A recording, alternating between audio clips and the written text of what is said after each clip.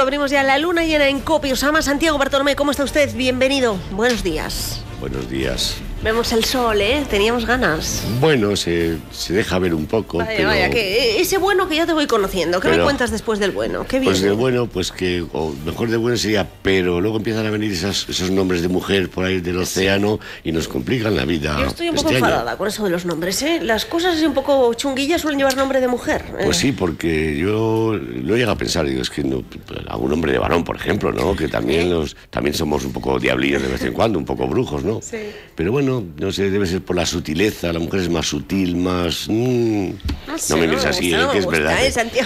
Oye, la culpa de la Universidad de Berlín, dicen, ¿no? Sí. O le echa la culpa a ella como a todo. Hablando de términos femeninos, miremos a la luna, ¿cómo está?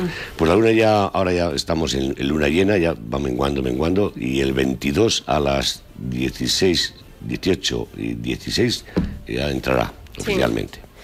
Y ya cada vez más cerca de esa primavera que siempre nos llega, claro, Que evidentemente. anhelamos, desde luego. Vamos a ver quién estaba de cumpleaños estos días, Santiago. Pues mira, entre otros, Irene, Ana, Jorge, Marisa, David, Eva, Rodolfo, Romeo, Mila, Mónica, María José, Noemí, Marí, Miguel, Valentín, Jesús, Jerónimo, Tamara, Asunción, David, Óscar, Ángela, José Luis, Alberto, Beatriz, Marisol, César, Beatriz, Iñaki, Vanessa, Isabel y hoy Diego, Virginia, Rosana y María. Felicidades eh, para todos ellos.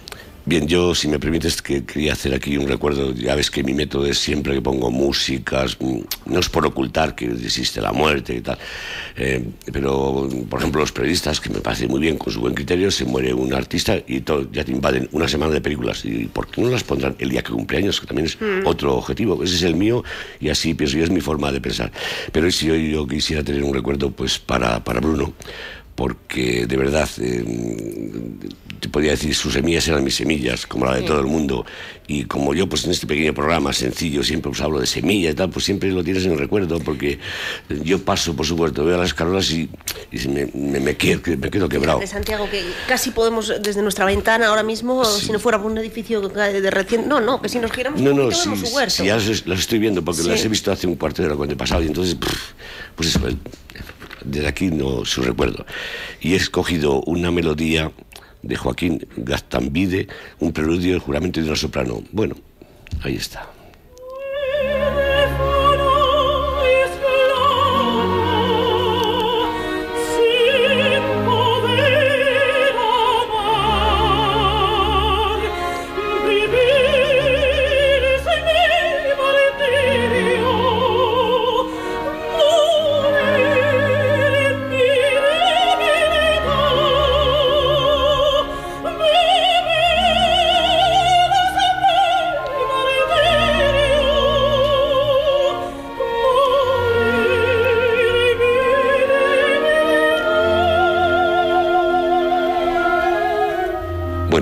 Tenemos a Peter Gabriel Grombik con Up Live.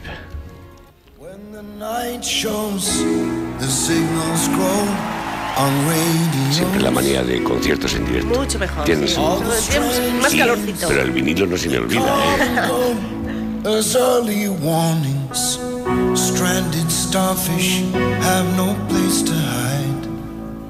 Still waiting for the swollen.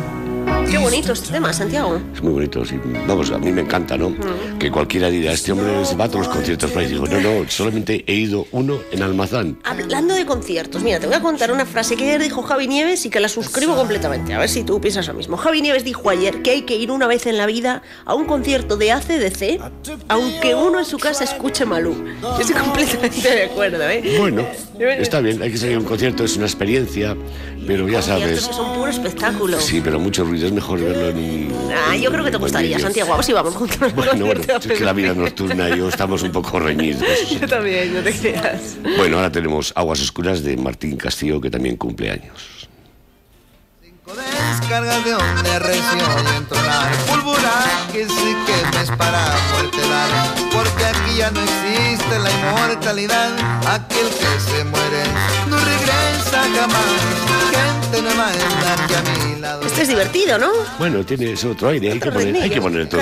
Y ahora sí lo que vamos a poner es Madame Butterfly de María Calas. Casi pues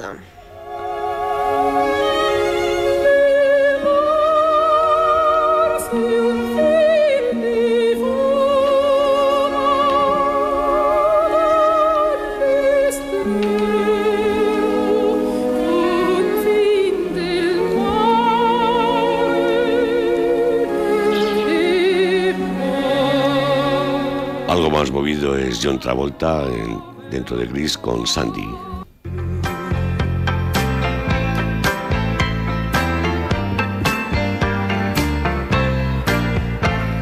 Sandy, can't you see? Qué joven eres. Ya ves que mi inglés es muy malo porque dice Sandy. Dios mío también, no te creas. Es la costumbre.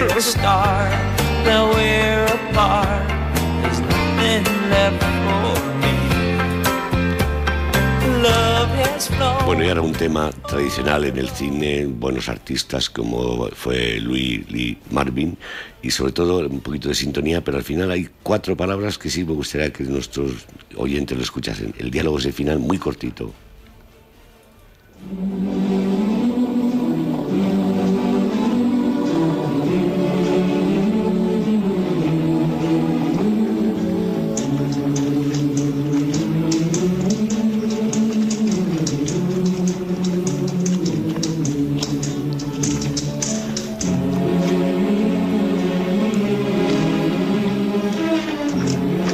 ¿Te marchas, Ben? No, Yo tampoco. Creo que hay dos clases de gente en el mundo. Los que se marchan y los que se quedan. ¿No es cierto? no, yo no lo creo. Pues, ¿qué crees tú? Pues que hay dos clases de gente. Los que van a alguna parte y los que no van a ninguna. Vamos, Yo creo que, es, creo que es un mensaje bueno, bueno, bueno, por eso lo he querido resaltar. Sí. Bueno, ya para terminar tenemos una sonata, un, poqui- un poquito de una sonata de arpa y de flauta de Luigi Boccherini.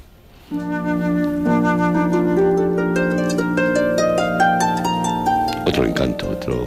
Qué delicada el arpa estaba pensando, ¿verdad? como tus tormentas. Vamos, borrascas.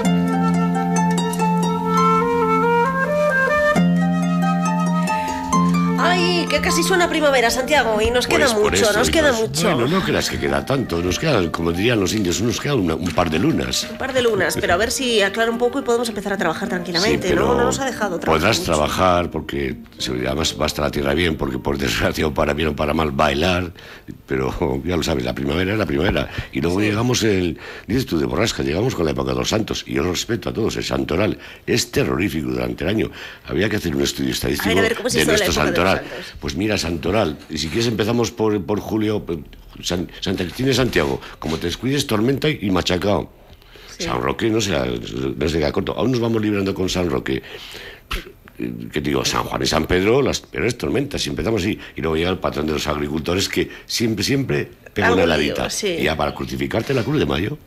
O sea, que podemos hacer un estudio del, santo- del santoral durante el año para ver cuándo tenemos que tapar nuestras plantas, porque es lo más eficaz. Pues mientras llegan esas fechas, que ya me suenan muy veraniegas, vamos a ver qué podemos hacer en la huerta y en el jardín. Muy bien, mira, me preguntan mucha gente que les gusta así aficionados a los bonsáis, a bonsáis en plan sencillo. No, hay mucha gente que compra bonsáis, tenemos historias que pueden dar unos cuantos de unos amigos comprados, pero también tiene el atractivo cuando te los haces tú. Claro. Entonces tú te recuerdas que te llamó la atención el año pasado cuando sembré las castañas. Sí, me bueno, pues mucho ayer hice la primera plantación, que es sencillísima, no es que sea barato, es que es súper agradable. Esas castañitas, ya lo verás, en el- lo colocaré en las fotos, están en mi página, pues miden aproximadamente los castaños unos 20 centímetros de altura, gruesos como lapiceros, unas yemas espectaculares. Esa es la parte aérea, la parte radical Recordemos es mucho que, eso mayor. salió de una castaña que plantabas. Sí, eh, en la jardinera planté 20 y salieron 17. O sea, que no está mal el porcentaje. No, no, para y nada. encima puedes plantar las que quieras porque pues, ya sabes tú que son útiles. Aunque tienen principios activos importantes esas castañas. Y no voy a dar pistas por si acaso alguno se desvía como con eso de las flores por ahí. Sí. Bueno, pues entonces en una bandeja, la bandeja puedes hacer de cualquier tipo. Yo estoy hacer un diseño con tejas viejas que sirve para tener perfectamente un árbol, pero en, lo- en los platos de maceteros grandes que miden 5 centímetros de altura, ayer planté 7 castaños. Colocas tu grava, lo explicaba la grava, vas colocando, y luego, que eso me acordé mucho de ti por problemas de los césped que, que están a la sombra, luego para cubrir todo ese mantillo ya con los troncos bien puestos, todo, todo tupido con, con el- hierba todo Césped. verde, con césped verde, pero ya césped Musgo. El, el musgo, pero el musgo no del alto, de- del grisado, el más pequeñito. Sí. Y ese cuando ya agarra lo vas peinando bien con un cepillo viejo, cuando brota eso es espectacular, ves todo verde y los arbolitos que salen, los troncos limpios. Qué bonito. Y tiene su atractivo. Pero eso vale para cualquier tipo de árbol que tú hagas. No, y no haces es- daño a nadie y el césped lo recuperas tú del jardín que te está molestando en las sombrías. Sí. O, el césped, el- o te lo haces tú. Coges losas pequeñas, tejas viejas, las pones en una hombría que esté húmeda y en un par de años tienes ya césped como borbotones que los puedes poner para sujetar tus plantas. La verdad que además es un detalle bonito, un regalo muy bonito, Sí, ¿verdad? hay una gente especialista, ya en más detalle, mucho más fino, que hacen paisajes en miniatura. Yo tuve uno hace mucho tiempo que me regalaron nuestros amigos de Cartagena. De verdad fue encantador. Lo he intentado imitar. Y sobre todo tiene mucho, mucho musgo, porque el musgo es, si te fijas, es espectacular. La flor es preciosa. Claro, tienes que coger un poco de lupa o un macro de una cámara bueno. Sí. Pero es que... Y encima que es que yo es que tengo pocos sitios que no me pega sol. Tienes ahí. Claro. El musgo ahí se desarrolla de, de super maravilla. Y un árbol de estos así, rudos, rústicos, perfectamente. Y luego haremos ahora ya otra vez plantación de aquellas semillas de chopo que cogimos de la chopera. Sí. Que esas miden algunos 30 centímetros de altura, los arbolitos, ¿eh?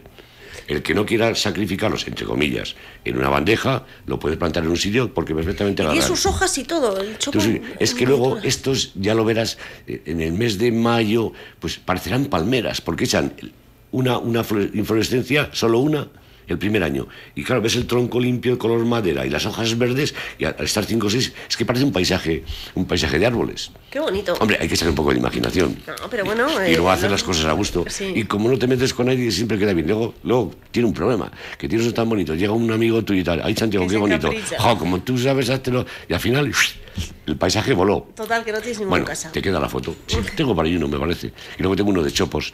Los de chopos se hacen muy fáciles, ¿eh? Mm. Y luego, si un día está alguien interesado, con una planta que compras en vivero, puedes hacer un paisaje de árboles. Que eso también lo tengo explicado en mi blog. Pues vamos a recordar la dirección del blog Santiago para finalizar y Sí. poder eh, remitirnos a este. Valdelubier.com, eso es sencillo. Se busca en el buscador y pones injertos, cualquier cosa. Pues eh, con eso nos eh, despedimos con ese especial hoy dedicatoria a los paisajes en miniatura y la referencia al blog para poder aprender de ellos. ¿Te De acuerdo. Y otro día hablaremos de los cotileos que estaba previsto hoy, pero el tiempo Sí, es un bien escaso. comido. Santiago, gracias. Hasta la semana que viene. A vosotros y a los oyentes. Muchas gracias a ustedes, señores. Llegamos a la una y media. Siguen en COPE la información a las dos y veinte con Agustín del Pino.